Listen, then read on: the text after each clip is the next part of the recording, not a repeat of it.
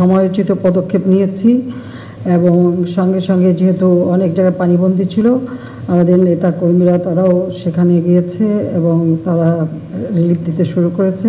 আমরা সেনাবাহিনী, নৌবাহিনী, বিমান বাহিনী coast guard border guard police বাহিনী, আমাদের দলের নেতা কর্মী প্রত্যেকেই দিনরাত পরিশ্রম করেছে। আমি গতকালকে পুরো এলাকাটা দেখতে গিয়েছিলাম এবং সিলেট বিভাগে সকলের সঙ্গে কথা বলেছি। কাজেই এই বন্যায় যে যা যা করণীয়, সে ব্যবস্থাটাগুলি আমরা নিয়েছি। আবার বন্যা পরবর্তী যে পদক্ষেপগুলি নিতে হবে, সে বিষয়টাও আমরা নির্দেশ দিয়ে এসেছি।